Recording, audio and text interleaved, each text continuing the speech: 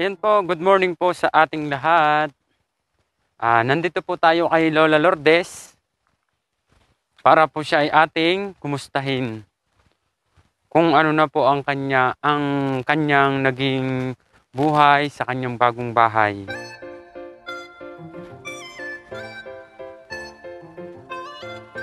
At ako po ay bumabati sa inyo lahat ng Merry Christmas. Merry Christmas po sa ating lahat. Ako po ay may munting handog kay Lola Lourdes na pangulam. Itlog po, itlog. Yan at ating kukumustahin si Lola Lourdes. Baka kasi si Lola, si Lola Lourdes ay nagtatampo na sa atin.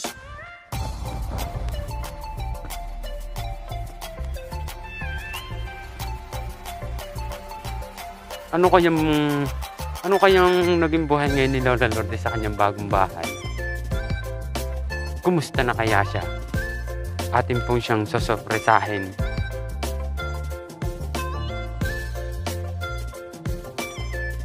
Malayo-layo itong lakadin kina Lola Lourdes.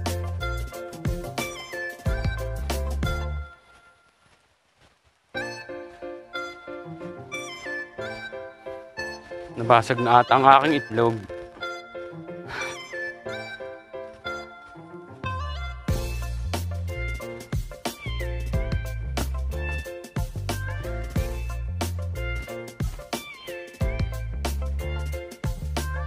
Ayun po, ah, lubos po ako nagpapasalamat sa mga nag-sponsor po dito sa sa pagpapagawa po ng bahay ni Lola Lourdes na ating pong naisagot na itapos natapos na po natin. At ganun din po sa mga lahat po na nag-sponsor doon po sa sa taga Batangas. Yung matanda po na nakatira sa ilalim ng silong. Ako po ay awang-awa doon sa kanyang dalawang anak dahil po may sakit sa pag-iisip. At tanging si Lola Holita lamang ang nagtataguyod sa kanyang dalawang anak na kahit gaano kahirap ang ang pangunguhan niya ng talbos na kamuting bagin ay pinipilit niyang pinipilit nilang mabuhay. Pero magkano lang ang isang tali, isang bugkos. Kung sa Batangas po sa aming Batanggenyo ay isang bugkos. Dalawang piso at sikwinta lang.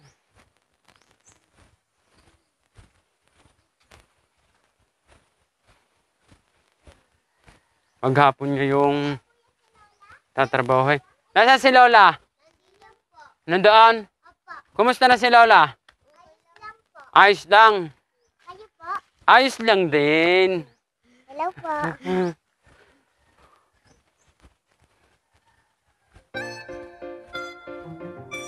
Ayan, at malapit na tayo sa bahay ni Lola Lourdes.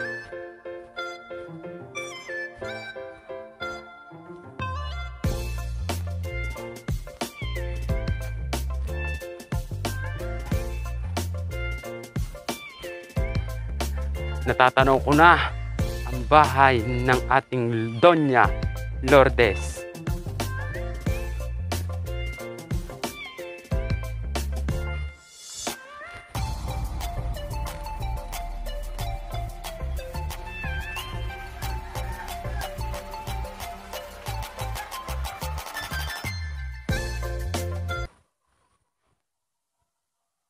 Hello po Lola Lourdes. Hello. Kumusta na po kayo? Ito.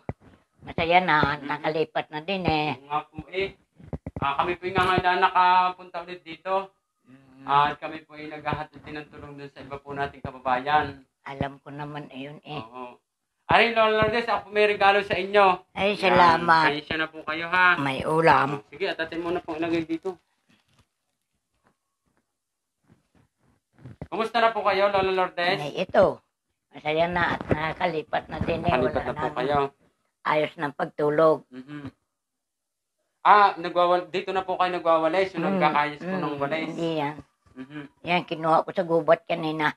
Oho. Sino po ang ano, sino po ang nakakasama nyo dito sa inyong ano? Ay, yung aking dalawang ayan dalaga. Oo. yung Oo nga po, nakatulog. para po ano. may kasama kayo dito dahil mahirap po ang ano, ang walang kasama. Ay, dito rin natutulog yung minsan yung mag-asawa eh. Gabi na nauwi. Ang gabi na po na uwi. Ay, Yung babae, at alas 8 na ng gabi na uwi sa galing trabaho. Mhm. Ako, sobra naman yung buwanan. Bakit kakoy alas 8 na ng gabi? Malinis, malinis si Lola Lourdes sa bahay. Oh. Ganda ng talis. Oh, ano, ano Lola Lourdes? akin yan, maaga pa ako nag-condinet. Madaming kuwan ng palapa.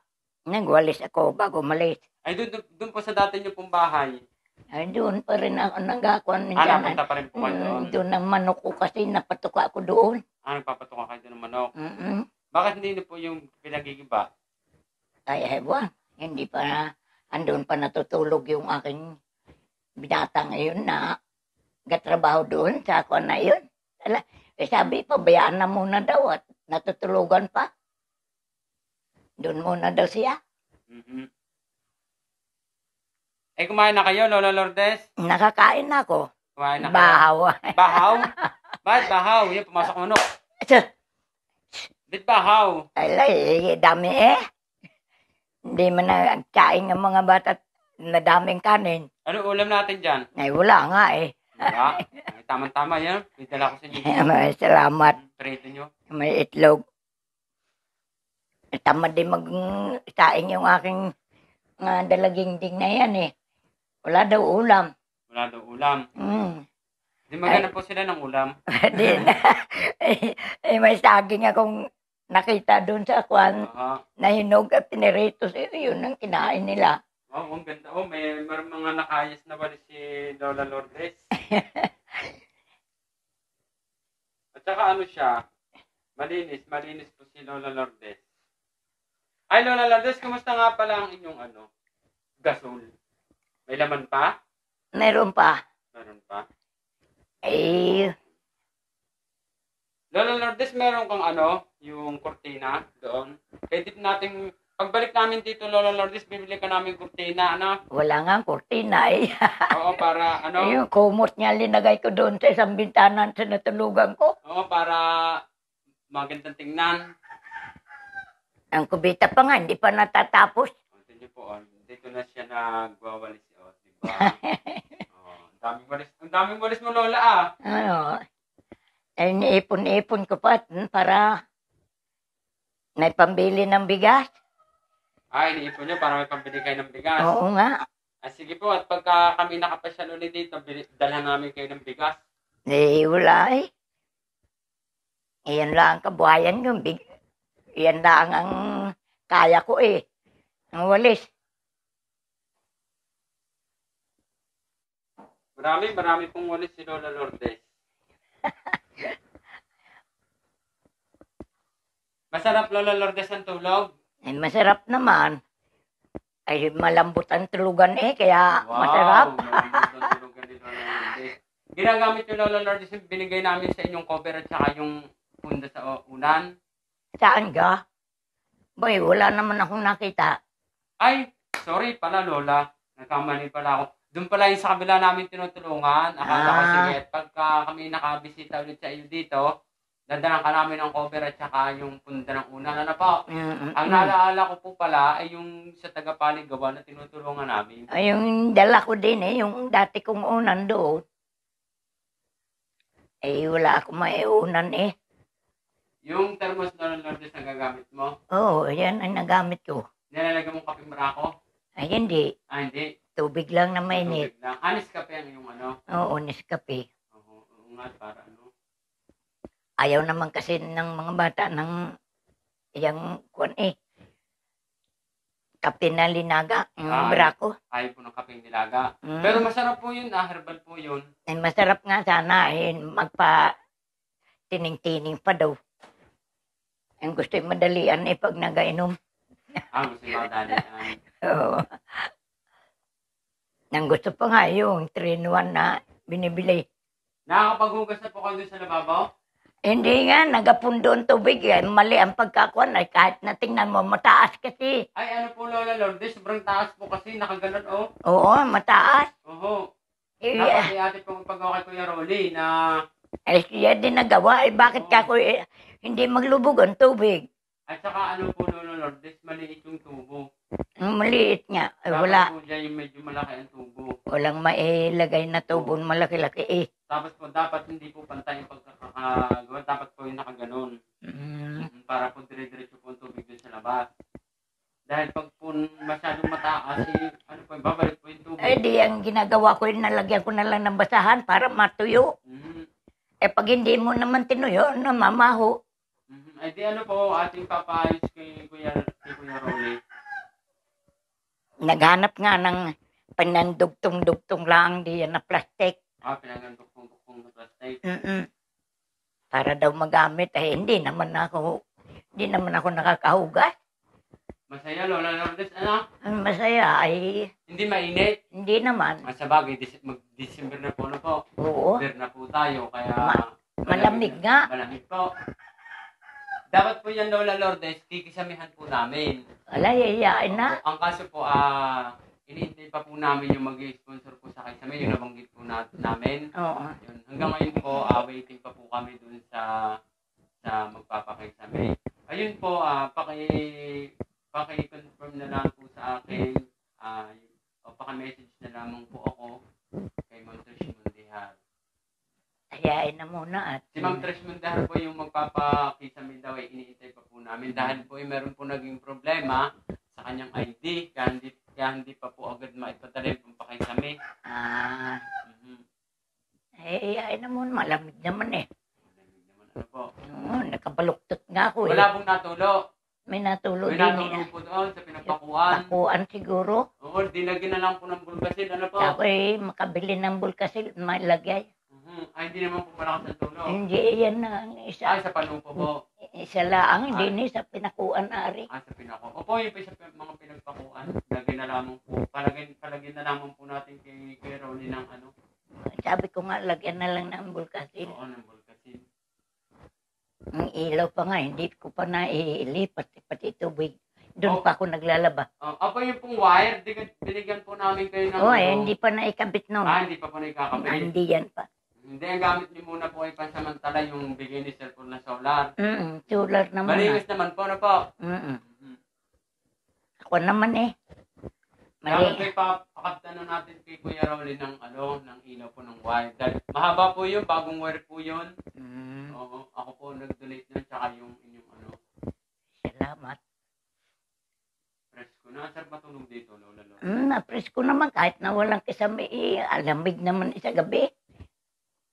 Eh, kabaluktot niya kami. Eh, Sabi ko doon sila sa kamat ako din, ay ayaw. Mainit di yan, Lula. Ayaw ko dyan. Ko. Hindi yan siguro sa palapa nang gagaling yan. Lola Lourdes, na-miss mo kami? Ay, oo naman. Bakit ka ako hindi na ako na bibisita ng mga brother na yun? siguro ka ako may daming tinutulungan noon. Opo, meron po kami sa Batangas. May sa baliti daw. Meron po sa Balite, at saka po sa Paligawan. Yung po sa Paligawan, hindi pa po ulit namin nababalkan yung niregaluhan po namin ng cellphone at saka nung kama. Yung Mm, yung pamilya po nila na bulag at saka po may sakit sa puso si Ate Lala. oo nga. Kakawa naman.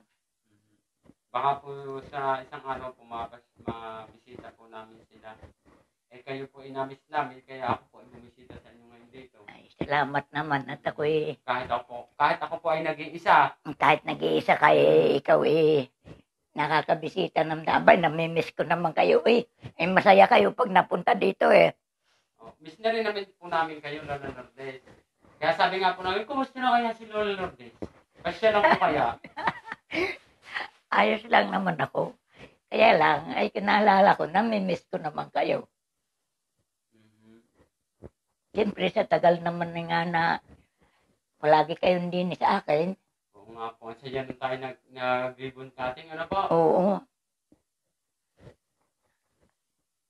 Ayun po, ah lubos po kami nagpapasalamat sa lahat po na nag-sponsor dito po sa bahay po ni Lola Lourdes.